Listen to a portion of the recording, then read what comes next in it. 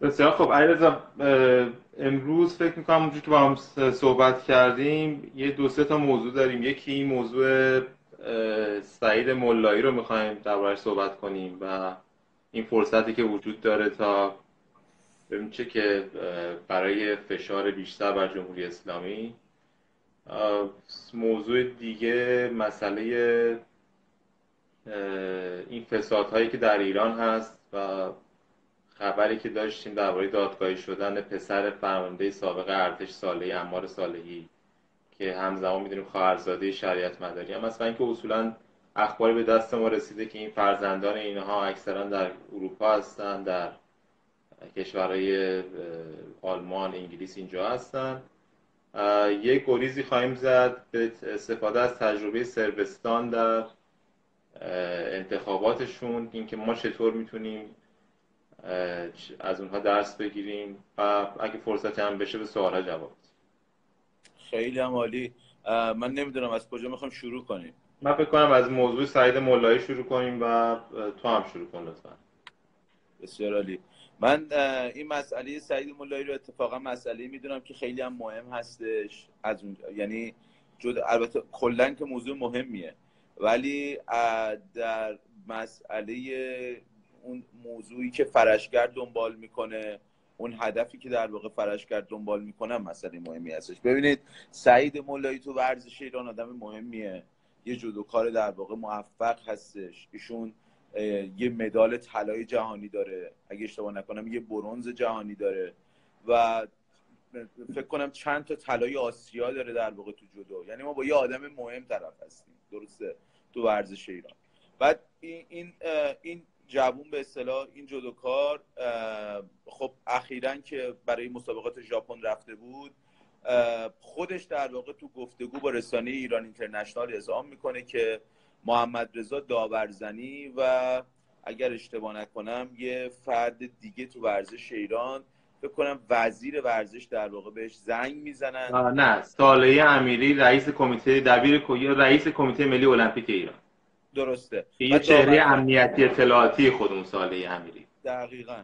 و داورزنی هم بله داورزنی هم بهش زنگ می‌زنه و اونا در واقع ازش می‌خوان که معاون داورزنی معاون ورزشی در واقع. معاون وزیر ورزش. زنگ می‌زنن. بله ازش می‌خوان که مقابل حریف اسرائیلی مسابقه نده. حالا اینجوری نیستش که در واقع این به حریف اسرائیلی خورده باشه. و حالا مثلا فکر کنید تو نیمه نهایی در واقع بخواد مسابقه نده. در واقع بهش گفتن که ما داریم حساب کتاب کردیم. این خفت در واقع مسئولین ورزشی جمهوری اسلامی را میرسونه. در واقع من به اینا یه دوستی حالا یه دوست سابقی می‌گفت اینا در واقع مسئول نیستن. اینا مالداران اسلامی هستن. واقعا هم همین تعبیر درسته. این واژه مسئول هم نباید برای اینا استفاده کرد. اینا حساب کتاب کردن نشستن دیدن که اگر بخواد چیز بره جلو هم با برد بره جلو. این یکی دو تا مسابقه آتیش رو ببره احتمالا تو نیمه نهایی در واقع به یا نیمه نهایی یا فینال به حریف اسرائیلی می‌خوره. و از همون موقع ازش خواستن که در واقع این ببازه. جلوی فکر کنم حریف گرجی و جلوی یه حریف دیگه.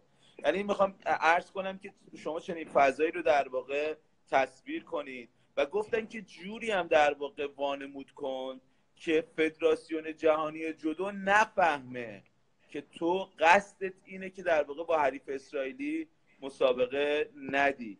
همین جان الان صدا من رو داری؟ من دارم. شما ادامه بده. اوکی. و گفتم که طوری هم در واقع وانمود کن و طوری هم در واقع رفتار کن که نفهمه فدراسیون جهانی جدو که شما قصد امتناع داری. ببینید خب حالا سعید مولایی به نظر من یه حرکت شجاعانه کرد.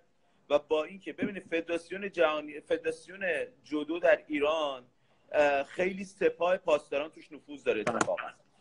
میبخشید من این دلیلش هم اینه که تا درست کنید دلیلش هم اینه که اصولا اینا ورزش های رزمی رو از اون آغاز گره زدن به برنامه های نظامیشون. یعنی و هدفشون این بود از ورزشکارا استفاده بکنن مثلا از این ورزشکار رزمی کار برای سرکوب مردم در اعتراض ها و اتفاقا در 88 ما داشتیم مواردی رو که اینا از همین بعضی از رزمی کارا نه همشون. اکثر ورزشکارای ما ورزشکارای با شرافتی هستن. ولی از بعضی از این رزمی کارا استفاده کردن برای سرکوب.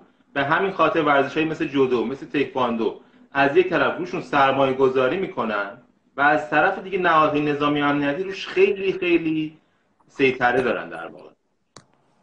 بله و نکته مهم هم این هستش که امیر با نباید فراموش کنیم ببینید پشت این سیاست خامنه ای ایستاده. یعنی مستقیما خامنه ای ایستاده. یعنی فکر نکنیم مثلا فلان در واقع فدراسیون ورزشی یا فلان. همونطور که یادتون میاد پارسال بود که رسول خادم که اساسا چهره ورزشی طرفدار جمهوری اسلامی. خادم ها به صورت خانوادگی هوادار جمهوری اسلامی هستن. حتی رسول خادم به این سیاست اعتراض کرد. و خب پاسخی نگرفت. چون پشت این سیاست خامنه‌ای ایستاده اگر یادتون بیاد پارسال بود یا دو سال پیش بود که در واقع علیرضا کریمی رو وقتی مجبور کردم ببازه و گفتم باید ببازی علیرضا کریمی رو برای تجلیل بردم پیش خامنه ای. و یا اگر سر همین سعید مولایی بهش گفتن که نمی‌دونم ساله امیری داورزنی بهش گفت که تو اگر در واقع در واقع قبول کنی که ببازی و با حریف اسرائیلی روبرو نشی ما ازت تجلیل خیلی خاصی به عمل میاریم تو تهران. که خب سعید مولایی عرض کردم شجاعانه در واقع پیشنهاد رد کرد پاشد رفت آلمان. البته پاسپورت آلمانی داشت به گفته خودش و همسرش آلمانیه. بله. قرار شد در واقع اونجا به تو تیم پناهندگان اگه اشتباه نکنم حالا فدراسیون جهانی جودو تصمیم گرفته که حتما سعید مولایی در المپیک شرکت کنه المپیک بعدی ولی حالا در چه قالبی حالا اونو در واقع فدراسیون تصمیم می‌گیره. ولی وقتی یا اگه یه مورد دیگه بود من واقعا اینو دلم نمیاد ذکر نکنم. این آرش میر اسماعیلی مال سال قبله. همین جودو بود. وقتی اومد من یادم نمیره چه تجلیل خاصی خامنه‌ای ازش به عمل آورد. و دقیقا عبارت این رو به کار برد. گفته بود این کار آقای آرش عزیزمان از آن کارهای بسیار برجسته بود.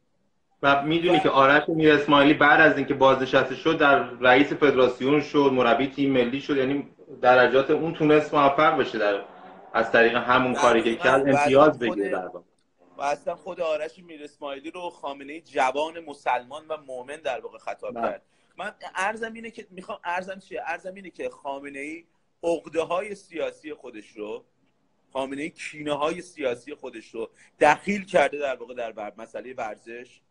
بدبخت کرده در واقع جوانای ورزش ایران رو. ببینید این مسئله اونقدر در واقع اذیت می‌کنه ورزشکار رو دارم میگم حتی ورزشکاری که در چارچوب جمهوری اسلامی خودشون تعریف کنن اگر اشتباه نکنم تو المپیک آتن علیرضا دبیر توی تیم ملی کشتی برگشت گفتش که من اگر با حریف اسرائیلی روبرو بشم امتنان نمیدم. و در واقع چون خب آدم مهمی هم بود در کشتی نمی‌شد خیلی باش برخورد کرد که خب البته خیلی هم خوش به حال مسئولین کشتی شد. چون علیرضا دبیر انگار حذف شد و اصلا نخورد به حریف اسرائیلی. یعنی جوری شده که به قول معروف اونا واقعا مسئولین ایرانی دلشون می‌خواد که در واقع ورزشکاری ببازن. من اینجا می‌خوام یه پرانتز باز کنم. واسه دوستانی که میگن آقا جمهوری اسلامی هم می‌تونه اصلاح بشه جمهوری اسلامی هم برجام مثلا مذاکره با آمریکا. بابا جمهوری اسلامی اصلا یه رژیم عادی نیست. میان جمهوری اسلامی رو مثلا با رژیم عربستان مقایسه می‌کنن. شما یه کشور تو دنیا به من نشون بده که مسئولین ورزشیش تمایل داشته باشن که در واقع ورزشکاراشون ببازن. که مثلا با حریف اسرائیلی رو برو نشن. و من امیر اگه وقت هست یه دو نکته دیگر هم سر این مسئله بگم. هر هر نکته هست بگو چون من این دو نکته هم در واقع اینجا من می‌خوام من می‌خوام در واقع ما صحبتی می‌کنیم برگردیم به این که در مبارزه در با جمهوری اسلامی چه استفاده میشه از این ماجرا کرد؟ تجربی داریم از این نوع مبارزات بر سر مثلا مسئله ورزش مورد مشابه چیزایی مثل این داریم؟ یه نکته در واقع در واقع همون همونطور که گفتی اینو می‌خوام به پیوند بزنم در واقع با بحث کمپین پشت به دشمن رو به میهن در واقع. ولی دو نکته قبلش من قبل برنامه یادم بود که بگم برای اینکه در واقع ببینید که چقدر این مسئله مسئله مهمی هستش اتفاقا. ببینید اینکه حالا اینا میان و حاضر نیستن که بهاش بدن. یعنی میگن که الان حدود سی ساله بیشتر از سی ساله جمهوری اسلامی میگه ورزشکارای ایرانی نباید روبرو بشن با حریفان اسرائیلی. ولی حاضر نیست بهاشم بده. حاضر نیست اینو به طور رسمی اعلام کنه. بهانه های عجیب غریب. مثلا من یادم مهدی رستمپور همون موقع نوشته بود که سال 2005 مسابقات بسکت جهانی بسکتبال زیر 21 سال بود. اینا به خاطر اینکه دیده بودم احتمال داره ایران با اسرائیل همگروه بشه که همگروه شده بود تو مسابقات.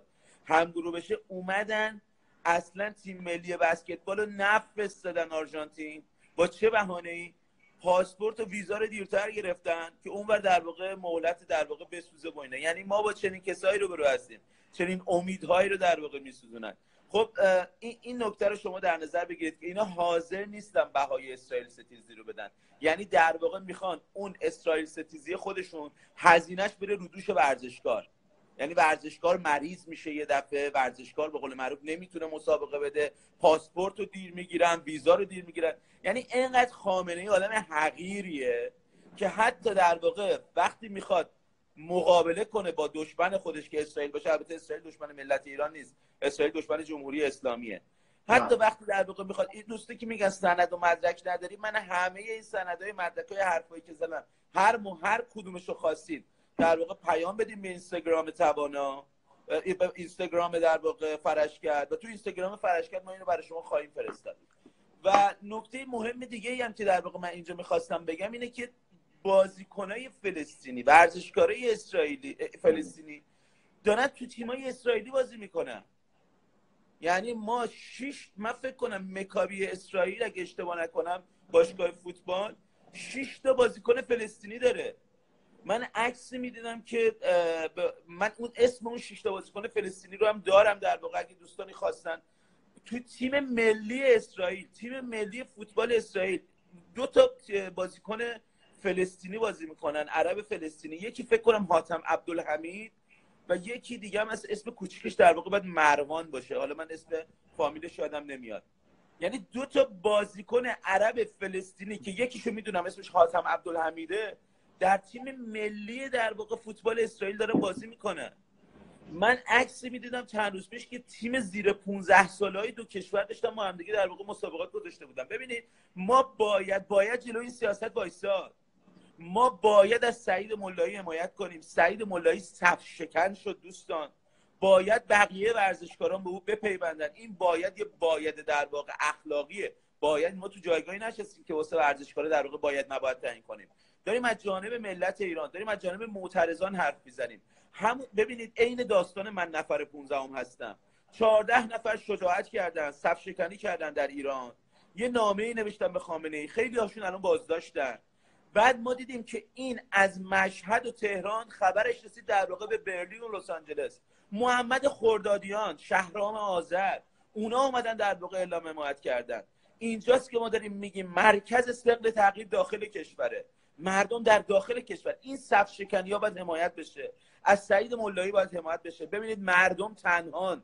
رفقا مردم یعنی من و شما. ما تنهاییم. بهترین کمک اینه در جایی که نشستیم بتونیم در واقع سهم خودمون رو ایفا کنیم. و این سهم ایفا کردن چگونه است؟ یه ورزشکار می‌تونه به سعید ملایی بپیونده. و بگه منم به این سیاست اعتراض دارم. منم سعید ملایی هستم. دقیقا من سعید ملایی هستم. من هم سعید ملایی هستم در واقع. این مسئله سابقه هم داره. فکر نکنید مربوط فقط به ایرانه. دقیقا دولت آپارتاید آفریقای جنوبی که سر کار بود. همین من اگه اطلاعات تو سر آفریقای جنوبی خیلی اطلاعات بهتری داری. اگه اشتباه می‌کنم تصحیح کن. این دولت آفریقای جنوبی که دولت آپارتاید که در واقع سیاه پوستان آفریقای جنوبی رو اساسا درجه دوم و بماند درجه سوم و درجه چندم حساب می‌کرد و فقط به سفید پوستان آفریقای جنوبی مجال بروز و حضور اجتماعی می‌داد. این دولت آپارتاید از طرف در واقع جامعه بین المللی ورزشی مورد در واقع شماتت قرار گرفت مورد سرزنش قرار گرفت تا جایی که تو اگر اشتباه نکنم در سال 1970 از کمیته بین المللی المپیک آفریقای جنوبی به طور کامل کنار گذاشته شد. از از اوایل دهه 60 بود که غیر رسمی دیگه باهاش خیلی کشورها باهاش مسابقه نمیدن از در 1970 به کل از المپیک کنار گذاشته شد. دقیقا. و برای اینکه ببینید چقدر شباهت داره با مسئله سعید ملایی.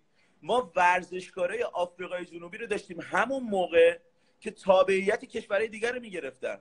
مثلا ما یه دونده بود من اسمش الان یادم نمیاد. یه دونده بود در واقع تابعیت انگلستان رو گرفته بود. یه اگر اشتباه نکنم یه شناگر در واقع بود. تابع یعنی ارزم اینه که بعد این تیم ها بعد مثلا طوری می‌شد که شما حساب کنید وزیر وزیر ورزش اگه اشتباه نکنم یا اون موقع در واقع چه سمتی داشت دقیقا از کشورهای دیگه خواستار این می‌شد التماس می‌کرد که نپذیرند که ورزشکاران آفریقای جنوبی رو به تابعیت کشور خودشون. یعنی یه موجی را افتاده بود. و جالب اینه که وقتی از 1989 که کلید می‌خوره مسئله مذاکره با سیاپوستان و رهبران سیاپوستان و کنار گذاشتن در واقع سیستم آپارتاید کم کم می‌بینیم که سیستم در واقع جامعه بین المللی میپذیره آفریقای جنوبی رو. و دولت هندوستان به عنوان مثال که یه دولتی بود که خیلی اصرار داشت برای که آفریقای جنوبی رو در واقع بتونه محروم کنه دولت آپارتاید رو خودش در واقع تیم ملی کریکت رو میفرسته و اونجا تو آفریقای جنوبی مسابقه می‌زنه ببینید دنیا در واقع ببینید اسقف دزموند توتو همون موقع در واقع یه کشیش بود. ولی هم, هم پای نلسون ماندلا داشت در واقع می, جنگید با سیستم آپارتاید. یه جمله خیلی معروف داره. حالا نقل به مضمون می‌کنم. میگه در مقابل میگه ما در مقابل یک فاجعه در داخل آفریقای جنوبی ایستادیم و تنها امید ما فشار جامعه بین المللیه. یعنی این چیزی که در واقع ما در ایران هم خواستار اون هستیم. من به قولی میدم صحبت رو به تو اگه نکته تکمیلی داری سر این مسئله آره. نکته که من دیدم اینه که می‌تونم اضافه بکنم. ببینیم ما در بند یکی از بندهای الان دقیقا بندش نیست ولی فکر می‌کنم جز بند دهم یا نهم بوده که حمایت از ورزشکاران و هنرمندان مردمی بایکوت سلیبریتی ها و حالا به اصطلاح شبه هنرمندان شبه ورزشکاران غیر مردمی و حکومتی. این مورد سعید مولایی که اولین موردم نیست. من دیدم تو همین یکی دو روز گذشته مجید فلا قهرمان و کاپیتان تیم ملی مویتای کیک بوکسینگ ایران بوده برای بیش از دو دهه نزدیک 13 14 سال. تا سال 2018 کاپیتان بوده. او هفت تا مدال طلای جهانی داره.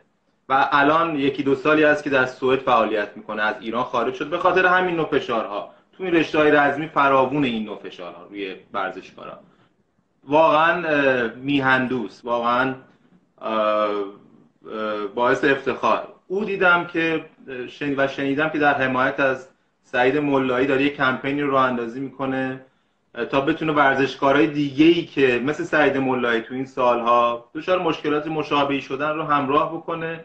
و این به نظر من یک استارت می‌تونه باشه برای یک حرکت بزرگ. امروز دیدیم که فدراسیون جهانی جودو به طور مستند اومده این فشاری که به سعید مولایی اومده رو گزارش کرده به کمیته ملی المپیک. ببخشید کمیته جهانی ملی المپیک. و به احتمال خیلی زیاد احتمال خیلی زیاد اگر جمهوری اسلامی این کار رو متوقف نکنه من تصورم اینه و تحلیلم اینه که در المپیک های آینده جای نخواهد چون این سابقه داره التیماتوم های قبلی داره.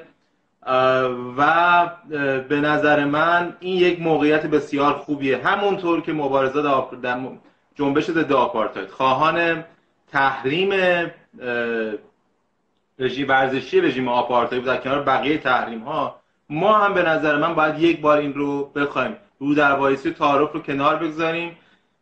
این که این ورزش ورزش ایران متاسفانه از طرف جمهوری اسلامی مورد تجاوز و سوء استفاده قرار گرفته این ورزش ایران این ورزش نحیف و رنجور ایران در در واقع جمهوری اسلامی این رو داره از سوء استفاده می‌کنه. اگر ورزش ایران یک سال دو سال محروم بشه هیچ اتفاقی نمیفته ما یک بار برای همیشه باید جلوی این رژیم سرکوبگر و متجاوز به همه چی به هنر به ورزش به فرهنگ به همه چی ایران اینا تجاوز کرده این رژیم و باید یک بار برای همیشه جلوش وایساد تا تا به کل از ایران رخت ببنده و ایرانمون آزاد بشه. از همین روش ها باید در واقع آزاد بکنیم ایرانمون رو. من احساس می‌کنم تصویر هم فریز شده. تا درست می‌کنم و تو این رو یه نکته رو دوستان بگم. ببینید من وقتی که این بحث تحریم های اقتصادی سر آفریقا بدونید که نلسون ماندلا دزموند توتو و اساسا اون رهبران آفریقای جنوبی بحث فشار جامعه بین المللی که مطرح می‌کردن می‌رفتن دنبالش هستن. یعنی یعنی می‌رفتن به خاطر اینکه وجاهت بین المللی داشتن به اصطلاح می‌رفتن دنبالش می‌گفتن که دنیا بیاد و دولت آپارتاید آفریقای جنوبی رو تحریم کنه. یه ده الان مثلا شاید بگن آقا مگه جمهوری اسلامی سیستم آپارتاید مگه مثلا سیاه ما سیاپوس مثلا ببینید اتفاقا اتفاقا من فکر می‌کنم جمهوری اسلامی آپارتایدش بدتر از آفریقای جنوبیه. دلیل داره. دلیلش اینه که جمهوری اسلامی نیمی از جامعه ایران رو در واقع درجه دوم حساب می‌کنه. زنان رو درجه دوم حساب می‌کنه. آپارتاید در آپارتاید جمهوری اسلامی لایه های مختلفی داره. اولین لایه و بزرگترین لایه در واقع آپارتایدیه که علیه زنان داره اعمال میشه. شما شما بعضی چیزا محسوس و قابل دیدن مثل که زنان نمی‌تونن بیان ورزشگاه و به قول معروف اینو ما می‌بینیم. یا مثلا چه می‌دونم مثلا شما فکر کنید حتی توی مسابقات والیبال هم که قبلا زنان رو راه می‌دادن توی مثلا ده سال پیش دیگه اونم راه نمیدن. وقتی متوجه میشن دیگه راه نمیدن. و نکته بعدم اینه که ما یه سری آپارتایدی هستش چون جمعیت اون جمعیت مورد آپارتاید کمتر هستش کمتر در واقع بهایی بهایی عملا نمی‌تونن در ایران زندگی کنن؟ سیاست آقای خامنه‌ای اینم زیر نظر آقای مستقیم آقای خامنه ایه که جوری در واقع می‌خواد علیه بهایی اعمال کنه که بهایی از ایران برن. این لحاظ اخلاقی یک فاجعه است برای ملت ایران که هموطنان بهاییش در روز روشن توسط حکومت در خیابان کشته میشن عطاولا صالحی در بندر عباس و خانوادهش نمی‌تونن دادخواهی کنن. این یک فاجعه اخلاقی در ایرانه. یعنی اون وقتی که دزمون توتو می‌گفت ما با فاجعه ای در این سرزمین روبرو هستیم که تنها با فشار جامعه بین المللی می‌تونیم نجات پیدا کنیم این دقیقا مثال حال ما هم هست. ما, یه با, ما, با... ما با یه فاجعه در واقع در ایران روبرو هستیم. و واقعا نیازمنده در واقع فشار جامعه. من پیشنهاد می‌کنم به دوستان در راستای اهداف فرشگر ببینید فرشگر من اینجا یه پرانتز جان با اجازه فرشگر حزب نیست سازمان نیست. چه می‌دونم تشکیلات مثلا خاصی نیست که حالا مثلا 50 نفر 100 نفر 10 نفر داشته باشه. مثلا بخوان نمی‌دونم فرشگر یک سیستمیه یه شبکه‌ایه که اساسا روی کار اومده که بتونه با استفاده از ظرفیت شبکه های اجتماعی مثل همین اینستاگرام و ارتباطات خودش در خارج از کشور با رسانه ها صدای ملت ایران رو انعکاس بده. به خاطر همین اون چهارده نفری که اون نامه رو امضا کردن خطاب به خامنه ای اونا عضو فرش کردن. شما اگه میگید اعضای فرش کرد کی هستن؟ چهارده نفر در واقع هستن که در واقع در مشهد و تهران و شهرهای دیگه ارومیه یکشون هم فکر کنم بچه ارومیه بود اونا نشستن اون نامه رو امضا کردن. اونا اعضای فرش کردن. کسایی که در واقع میرن پشتشون رو میدون شهیات قرار میدن و در واقع پشت به میدون شهیات پیام پر می‌کنن علیه جمهوری اسلامی صورت خودشون رو در واقع نشون میدن در تهران. اونا عضو فرشگرد هستن. من ببینید من دارم عرض می‌کنم که راه بازه ما اینجوری نیستش که اینجا متکلم وحده باشید. ما شب و روز داریم پیام های شما رو می‌خونیم. شما ویدیوهایی که در واقع از فعالیت های شما داره ساخته میشه. شما عضو فرش کردید از این رو من پیشنهاد می‌کنم دوستان. اگر دیدیم مجید فلا طوری که امیر گفت من خبر نداشتم. مجید فلا اگر در واقع این همت رو به خرج داد این کمپین رو راه اندازی کرد بیایم و به اصطلاح در واقع مجید فلا رو یاری کنیم. همونطور که در واقع اون 14 نفر رو یاری کردیم. ببخشید اینجا من خواهش می‌کنم. و مرسی علیرضا من یه نکته رو خیلی کوتاه اشاره بکنم در مورد این ماجرای نظامی ها در واقع پرونده سعید ملایی و جدا رو فکر کنم برنامه کافی بهش پرداختیم. تو این چند روز اخباری اومده. از خود دادگاه همین جمهوری اسلامی و همین دادگاهی که به اسم مقابله با فساد دارن اجرا می‌کنن. می‌دونی که اکثر این حکومت ها وقتی به اون قسمت آخرشون می‌رسن جست مبارزه با فساد می‌گیرن. شما عین همین رو در اتحاد جماهیر شوروی می‌بینید که در یک سال یک دو سال آخر به ویژه گورباچوف وقتی که اومده بود اینها یک بخشی از کارشون این بود که مثلا ما داریم با فساد در حزب کمونیست و این سیستم کمونیستی داریم مقابله می‌کنیم. شروع کردن به بگیر و بند به اصطلاح فاسد ها ولی در واقع دعوای باندیه. می‌دونید دعوای مافیاییه. یعنی این مافیا هستن که به جون هم افتادن. در چنین شرایطی که تحریم هست پولشون کم شده. یکی از این دادگاه اخیر که مال همون در واقع بانک سرمایه بوده یکی از متهمینش خب متهم دیگه ای داشتیم که داماد شریعت مداری اون آقای رضوی بود هادی رضوی بود یه جوان سی و چند ساله. او رو در واقع ما داشتیم که تو همین پرونده از صندوق ذخیره فرهنگیان مبلغ بالایی رو دزدیده بود و این پولا رو میارن توی سینما و ورزش برای پولشویی پولای کثیف. فرد دیگری رو ما داریم به اسم امار صالحی. امار صالحی از یک طرف خواهرزاده محمد شریعت مداری وزیر اطلاعاتی امنیتی کابینه روحانی وزیر کارش. از یک طرف فرزند صالحی فرمانده سابق ارتش. این که می‌دونیم ما ارتشی های ما حتی بدنی سپاه اینها نظامی ها نیروهای انتظامی. اکثرا کسایی هستن که حقوق هایی که می‌گیرن درآمد هایی که دارن من دارم در بدنه صحبت می‌کنم. اینها حقوق های پایینیه. مثلا خیلی از ماها می‌دونیم که این شهرک های خونه های سازمانی ارتش مخصوصا در مناطق در کجاهاست خونه های قدیمی اگر فامیلی داشته باشیم می‌دونیم که اینها واقعا بعضا در زیر خط فرق زندگی می‌کنن. و اون وقت افرادی از همین ارتش همین سپاه که وابسته هستن دارای رانت هستن می‌بینید که با استفاده از موقعیت و فرصتی که دارن به درآمدهای آنچنانی می‌رسن نمی‌دونم مثلا در همین مورد امار صالحی تو اخبار بود که توی یعنی بخش از دادگاهش این بود که فقط یک خونه بنز ماشین مرسدس بنز 650 میلیونی مثلا بهش هدیه دادن توی یکی از شرکت های زیر مجموعه این بانک سرمایه. یا تسهیلات 110 میلیاردی گرفته. می‌دونی این این این واقعا ظلم در حق اون ارتشی در حق اون نیروی نظامی انتظامی که در پایین ترین سطح زندگی رو داره. و ما توی فرش من چرا دارم اینها رو میگم؟ چرا این مسئله مهمه؟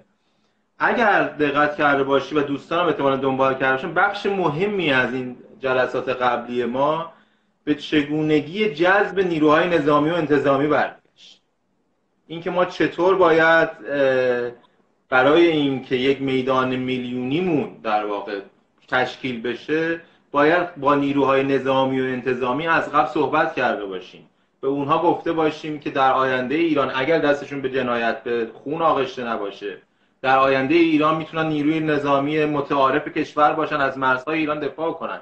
علیه دشمن باشن. علیه نه علیه مردمشون. و در این حال اونایی که جنایت کردن اونایی که فاسدن امثال این صالحی ها امثال این امنیتی هایی مثل شریعت مداری اینها باید پاسخگو باشن هیچ تردیدی درش نیست. برای اینکه من باز هم روی سخنم به نظامی هاست به ارتشی هاست که ببینید چگونه دارم شما رو بدنام می‌کنه این حکومت. ببینید چگونه یک فرقه یک مافیا باندهای مافیایی به اسم شما دارن نیروهای نظامی رو بدنام می‌کنن. شمایی که بعضا مجبوری شغل دوم و سوم داشته باشی. بری توی اسنپ و نمی‌دونم تاکسی های اینترنتی کار بکنی. گاهی مثلا دو ساعت سه ساعت هم شاید در روز نخوابیم. بعد کسایی به اسم نظامی به اسم نیروی امنیتی و نظامی میلیارد میلیارد صدها میلیارد میلیارد پولش مردم رو میدزدن و می‌خورن و حتی زنده بازداشت هم نمیشن. همین امار سالی با کت شلوار در دادگاه حاضر میشه.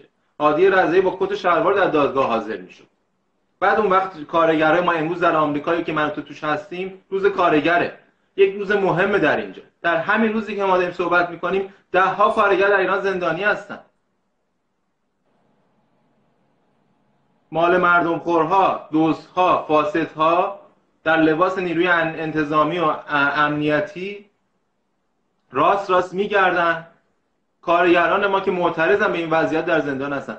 این رو من خواستم صحبت بکنم. احساس کردم که لازم ما باز هم با نیروهای نظامی با بدنی ارتش با بدنی حتی سپاه صحبت بکنیم. بریدن از این حکومت به نفع به نفع همه است. به نفع همون نیروی نظامیه به نفع همون ارتشیه که کشور رو این حکومت و این رژیم با برده در معرض جنگ گذاشته. ایرانی که با کشورهای همسایش با دنیا با آمریکا با اسرائیل با اروپا دوست باشه با عربستان روابط عادی داشته باشه با همسایگانش روابط عادی داشته باشه نیروهای نظامیش هم در آرامش هستن. همینجا من فقط نکته بگم. ببینید دوستان نیروهای نظامی تو کشورهای دموکراتیک تو کشورهای نرمال به اصطلاح جزو محبوب ترین در واقع نیروها هستن.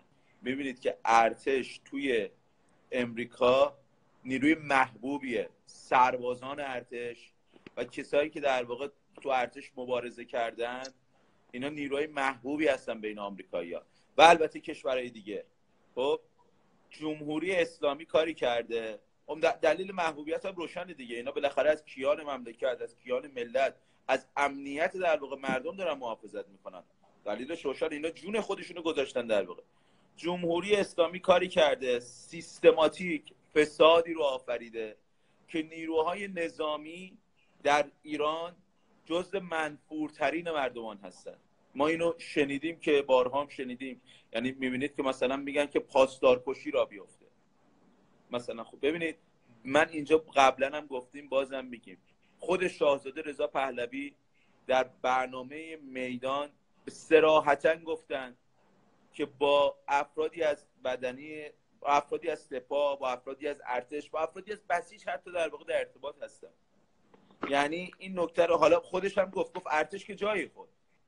یعنی ارتش که در واقع حتی با سپاه من ارزم اینه ببینید دوستان بدنی سپاه بدنی بسیج کسایی که دستشون به خون مردم آلوده نیست کسایی که در واقع مال مردم و مال یتیم رو به اصطلاح نخوردن اینا کسایی هستن که می‌تونن در واقع برگردن به سوی شما برگردن به سمت شما.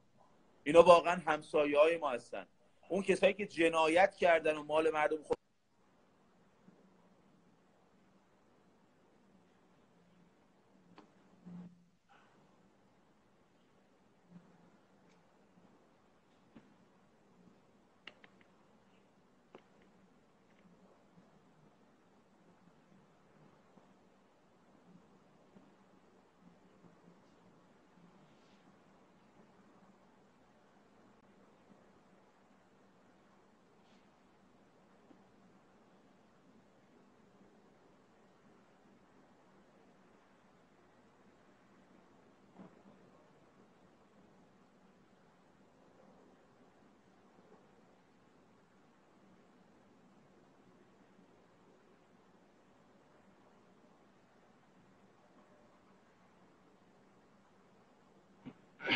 صدا قطع شده علیرضا. علیرضا صدا قطع شده. من لطفا قطع کن دوباره اضافه شو یا اگه می‌تونی صدا رو حل کن.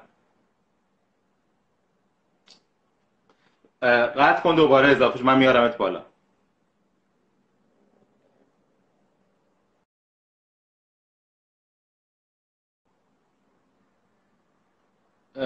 دوستان صدای من رو دارین؟ صدای من رو دارید؟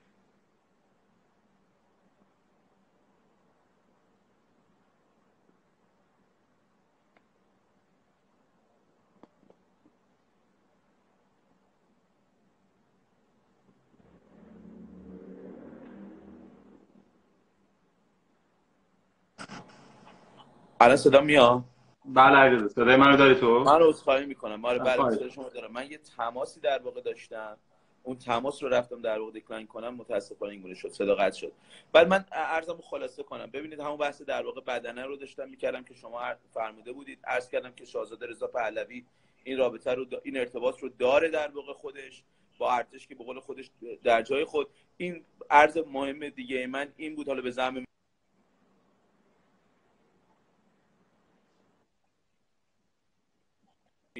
با سپاهی با بسیجی با ارتشی صحبت کنید که در واقع بتونه بیاد و به شما بپیونده. این در دوره انتقال و در دوره گذار کمک می‌کنه به اون نظم و ثبات.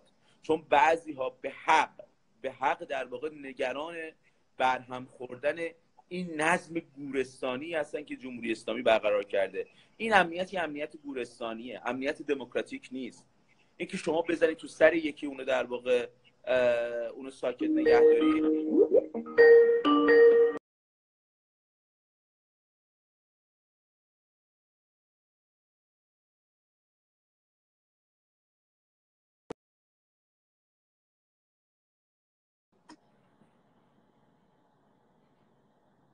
صد... می‌خوره. فکر کنم می‌تونی ادامه بله. بس صدای منو داری امیر. بله بله بله. صدا دارم ولی تصویرت دارم. الان صبح ادامه بده بله. من ارزم در واقع این هستش که متاسف دوستان من واقعا عذر می‌خوام. ارزم اینه که این کسایی که در واقع میان می‌تونن به اون دوره انتقال و دوره نظم کمک کنن. یعنی برای یک برای برای یک به اصطلاح گذاری که نظم رو در واقع به هم نریزه. نظم جامعه رو به هم نریزه. امنیت جامعه رو تا حد زیادی حفظ کنه. اون افراد می‌تونن این کمک رو بکنن. ببینید عرض من باز تاکید موکد می‌کنم به اصطلاح. این که در واقع ما وقتی بحث سپاه رو می‌کنیم به معنای این نیستش که همه سپاهیان. من ارزم در واقع اون بدنی سپاس اونایی که در واقع خودشون تحت این فشارهای اقتصادی قرار دارن اونایی که خودشون دارن می‌بینن که بالادستی ها چه جنایتی در واقع چه مال مردم خوری را انداختن. وگرنه معلومه که خیلی ها هستن که دلبسته آقای آقای خامنه ای هستن مثلا ما اونو بحث نداریم. من ارزم کس... من ارزم کسایی که در واقع می‌بینید که به خاطر مسائل اقتصادی مجبور شدن برن سپاه. به اینا بگید تعارف هم نکنید. به اینا بگید که اگر به مردم نپیوندید جمهوری اسلامی رژیم ماندگاری نیست. جمهوری اسلامی خواهد رفت و حساب و کتاب شما با مردمی خواهد بود که از جمهوری اسلامی تا بن وجود نفرت دارن اون اون در واقع اون کسی که در واقع توی که از آقای خامنه ای در واقع داره مایه می‌ذاره و خودش دلبستی آقای خامنه ای می‌دونه. بدون تعارف در واقع این رو بگیر اول مردم بعد این مردم هستن که در واقع باید برن و با این افراد مختلف صحبت کنن. تو تجربه سربستان بچه های آزپور در واقع با پلیس یا حالت تعاملی پیدا کرده بودن. پلیسی که در واقع با اونها سرکوب می‌کرد اونا رو بچه های آزپور نرفتن در واقع علیه اونا خشونت اعمال کنن. باهاشون مدام صحبت کردن باهاشون مدام گفتگو کردن. تا جایی که نیروهای پلیس دیگه با اواخر دیگه با آسپوریا همکاری می‌کردن علیه میلوسوویچ. و اینو در واقع دوستان یادمون نره. امیر ببخشید شما بفرمایید. من خیلی حرف زدم. من خواهش می‌کنم. با توجه فرصت کمی که داریم من می‌خوام یک اشاره کنم به این پست آخری که در صفحه اینستاگرام فرشگرد قرار گرفته. قبل از در واقع شروع شدن live ما. این یک در واقع ویدیو کوتاهی در حد 9 ثانیه 10 ثانیه که یک شعار شبانه هستش از ایران داده شده. که یکی از حامیان ها یک، یکی از زنان حامیان ما زنان مبارز فرستاده. و در این ویدیو کوتاه که اینجوری خودش فرستاده بود می‌گفت که در نزدیکی منزل امام جمعه اون شهرشون هستش منزلش. و در اونجا شعار فریاد فریاد از این همه بیداد سر میده. و او از بقیه در واقع همیانان دعوت کرده که کار مشابهی رو انجام بده. من فکر می‌کنم این کارها در شرایطی که خود رژیم خود جمهوری اسلامی تلاش می‌کنه هزینه مبارزه رو بالا ببره. مبارزه رو در واقع مبارزه کردن رو بگه که نتیجهش میشه بازداشت نتیجهش میشه زندان نتیجهش میشه نمی‌دونم حذف فیزیکی بعضن با این کارها می‌خواد مبارزان رو بترسونه استفاده از روش های جایگزینی مثل همین شعار شبانه. و شعارهایی که اتفاقا خیلی پرخطر نیست. و یعنی شما اگر که در تو خونت مثلا بگی فریاد فریاد از این همه بیداد پشت بوم خونت از پشت پنجرت احتمالا می‌تونی ازش دفاع بکنی که من مثلا شعار نه علیه حکومت شعار دارم من از این شرایطی که دارم از زندگی خودم ناراحتم و دارم فریاد می‌زنم. این حق منه که فریاد بزنم از زندگی ناراحتی که دارم. از نوری که نمی‌تونم سر سفرم بیارم. از بیکاری بچم از اینکه نمی‌تونم پول دانشگاه بدم. و این به نظرم کارهایی مثل این که کم خطر هستن می‌تونن افراد رو که ترسیدن همراه بکنن. من اینجا به نظر من می‌خوام پیشنهاد بکنم. در واقع این باز مثل خیلی از کمپین های دیگه کارهای دیگه که فرش کرد معرفی می‌کنه پیشنهادهایی که از داخل ایران می‌رسه. یعنی ما این ایده ها و پیشنهادهای کمپین ها رو منعکس می‌کنیم. کما اینکه از اول گفتیم وظیفه ماست. من پیشنهاد می‌کنم به این در با این هموطنی که اول برید این ویدیو رو ببینید. من این پیشنهاد اولم که برید این ویدیو رو ببینید. آخرین پستی که فعلا در صفحه اینستاگرام فرش کرد و کانال دیگه هستش.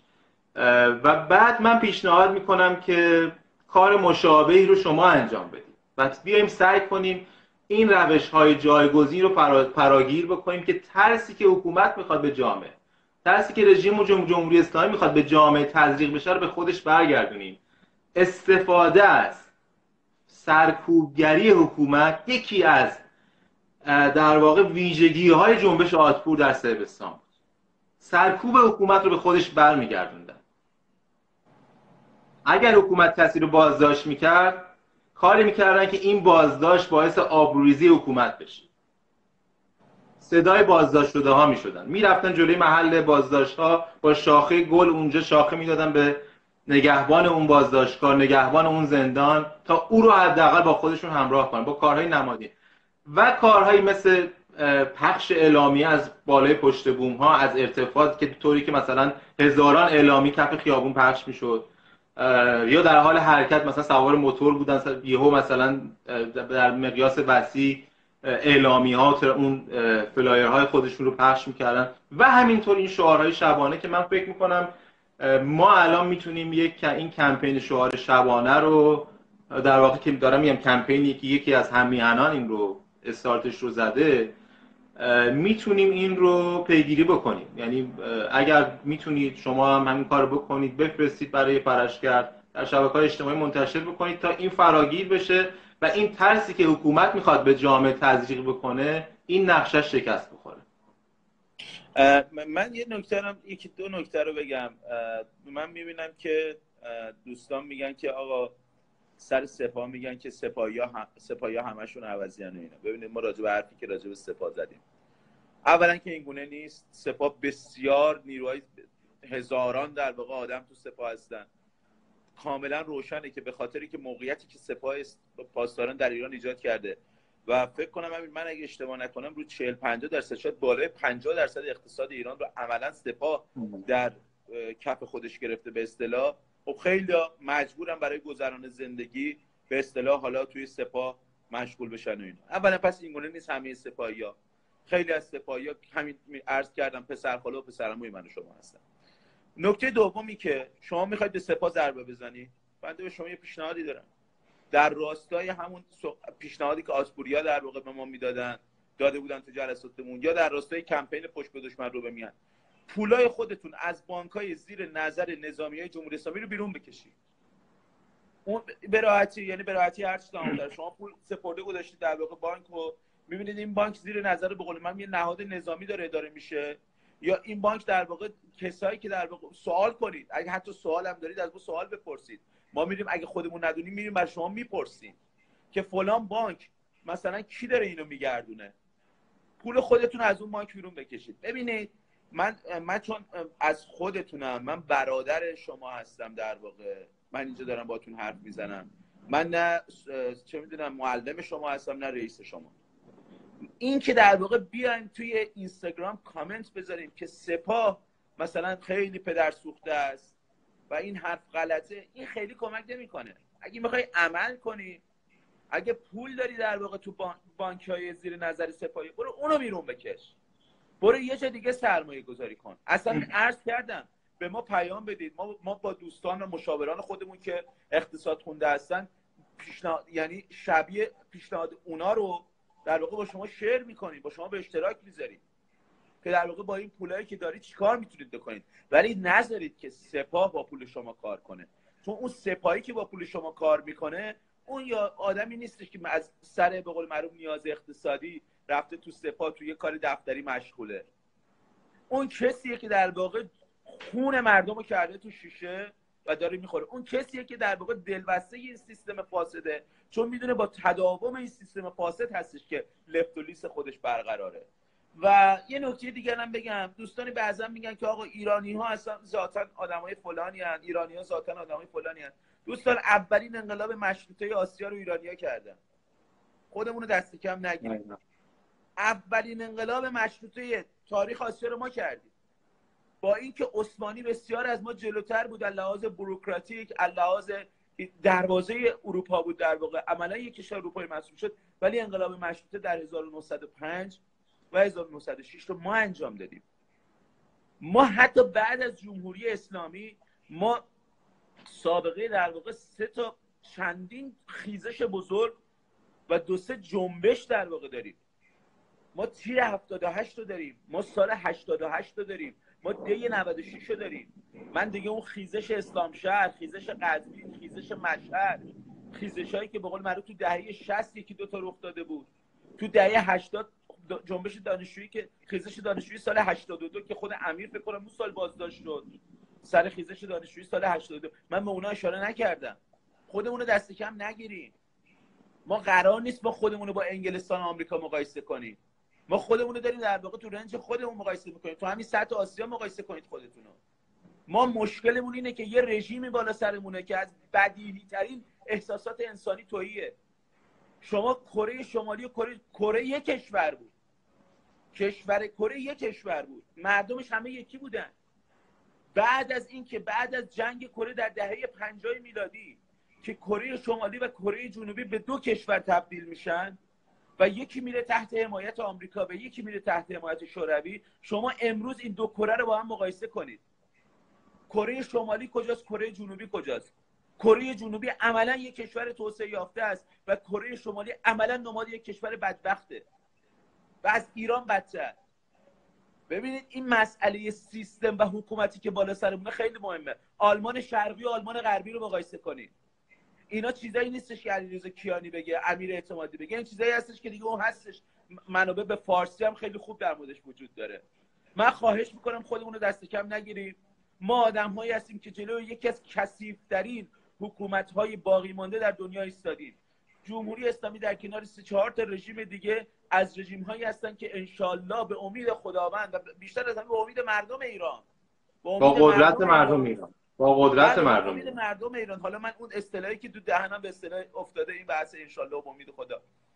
ولی به امید مردم ایران ما این رژیم رو کنار خواهیم زد. کافی دست سنگین حکومت از رو استعدادها و ظرفیت انسانی ملت ایران برداشته بشه.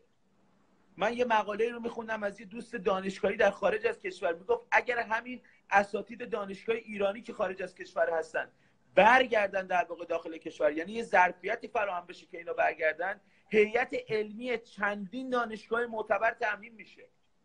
یعنی همون فقط اساتید ایرانی خارج از کشور اونایی که داخل کشور هستن بازنشسته اجباری شدن کنار گذاشته شدن اخراج شدن. من اونا رو مطرح نمی‌کنم. خودمون رو دست کم نگیرید. ببخشید ما این حرف زدم. من چون چند تا کامنت دیدم که آقا ایرانیا فلانن ایرانیا به نه این گونه نیست. ببخشید.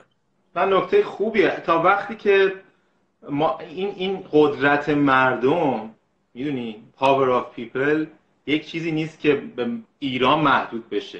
این این جهانیه. این یک عبارتیه که هر جا مردم به قدرت خودشون باور کردن پیروز شدن. ما باید به قدرت مردم. این هشتگی که ما استفاده می‌کنیم قدرت مردم این یک چیزش فقط هشتگ نیست. این یک, یک چیزی که کلیده به نظر من. اگر ما به قدرت خودمون باور داشته باشیم کما اینکه علیرضا همین الان مرور کرد. در مواردی که ما باور کردیم به قدرت خودمون یا پیروز شدیم یا به مرحله پیروزی رسیدیم. پدران ما در دوره مشروطه به قدرت خودشون باور کردن. در 88 ما نزدیک بود که پیروز بشیم. به خاطر فقدان رهبری. به خاطر اینکه در اون شاید بخشی که قرار بود رهبری کنه بخشی از خود حکومت بود ما شکست خوردیم در واقع. زنده و دقیقا. امروز بعد بعد ده سال بعد از تمام این تجربه های چهل ساله اگر به قدرت خودمون باور بکن اگر هی نگیم که این حکومت با حکومت های دیگه فرق می‌کنه نه هیچ فرقی نمی‌کنه. باور کنید رژیم عمر البشیر در سودان ده برابر از رژیم خامنی سرکوبگرتر و وحشیتر بود. باور کنید بود. برید بخونید. ببینید نسکشی که عمر بشیر کرد این حکومت درسته که کشته هزاران نفر رو کشته ولی اصلا قابل قیاس نیست. با رژیم خمینی و خامنه ای مردم سودان موفق شدن. با کمک همون نظامی ها ما هم باید کمک بگیریم از نظامی ها ولی یک حکومت دموکراتیک سکولار و غیر نظامی در ایران بر سر کار بیاریم. زنده با اگر موافق بگم. دوستان ببینید این مثال سودان مثال خوبیه ها. چون هم نشون میده یه حکومت وحشی مثل عمر بشیر که سابقه نسل کشی داره در دارفور. من خواهش می‌کنم بخونید در این مورد. ببینید دانایی توانایی رو افزایش میده. شما وقتی در واقع دانا بشید نسبت به یه سری مسائل تواناییتون در واقع گسترش پیدا می‌کنه. عمر البشیر سابقه نسکشی داره. ولی ارتش زیر نظر عمر البشیر بود. ولی شما دیدید که مردم با کمک همون ارتش الان یه شورای تشکیل دادن که نصفش ارتشیان و ارتش عملا قدرت رو انتقال داده به غیر نظامی ها ما باید کمک کمک بگیریم از نظامی هایی که دستشون به خون و مال مردم آلوده نیست تا بتونیم همون نظامی هایی رو که جوانای مردم رو کشتن پشت میز محاکمه بنشونیم و بر اساس عدالت و انصاف برای اونا حکم صادر بشه. بذار یکی دو سوالم بگیر من رضای آخر و بعد لایو رو تمام کنیم امروز. ببین در مورد رهبری شاهزاده من فکر می‌کنم که شاهزاده انتظاری که از رهبری شاهزاده داریم باید رهبری باشه در سطح کلان. یعنی اینکه از از شاهزاده انتظار داشته باشه بیاد به شما بگه که فلانجا به تظاهرات بکنید و فلان فلان روش مبارزاتی رو استفاده بکنید. شاهزاده بارها گفته روشش مبارزه خشونت پرهیزه درباره اینکه توی این مبارزه باید با نظامی ها صحبت بشه و گروه های اپوزیسیون با هم متحد بشن. همه اینا رو بارها گفته. این یعنی در سطح کلان به عنوان یه چهره ای که مردم ایران از در دور افتاده ترین نقاطش او رو می‌شناسند تمام ویژگی های به نظر من یک رهبر جنبش رو داره شاهزاده. اون کاری که ما باید انجام بدیم اینی که در سطح میانی بتونیم سازماندهی بکنیم. کاری که فرشکه در حال تو این ده ماه یازده ماه گذشته تلاش کرده انجام بده. کاری نیست که کار به نظر من زمانبریه ولی کاری نیست که بخوایم نتایجش رو مثلا در عرض این ده ماه نه ماه ببینیم. نیاز داره که همه همراهی کنیم دست به دست هم بدیم. از کمپین هایی که ما معرفی کردیم در فرشگر تا کمپین هایی که گروه های دیگه به معرفی می‌کنن. همه ببینیم که نقاط مشترک چیه. این مشترک بودن چشم‌انداز چشمان مشترک بودن هدف. کمک می‌کنه به اون چیزی که همه منتظرش هستن. حالا اتحاد اپوزیسیون پیمان نامه اپوزیسیون ائتلاف اپوزیسیون. این ائتلاف شکل خواهد گرفت. حول اهداف یکسانی که من فکر کنم خیلی از گروه اپوزیسیون دارن. اینم گفتم که کمی امید بخش باشه و می‌دونم که بعضی از نظرات ناامید کننده است. من واقعا تعجب می‌کنم. یعنی ما در موقعیت بسیار خوبی هستیم. از نظر اینکه گفتمان براندازی به نظر من غالب شده. اون مرحله اول که فضای ایران باید یک فضایی باشه که مردم احساس کنن این حکومت باید بره ما بسیار بهش نزدیک شدیم. مرحله بعدی می‌تونه مرحله مسئولیت پذیری باشه که حالا تو جلسات بعدی دربارش حتما صحبت خواهیم آره امیر من فقط سریع نکته رو بگم.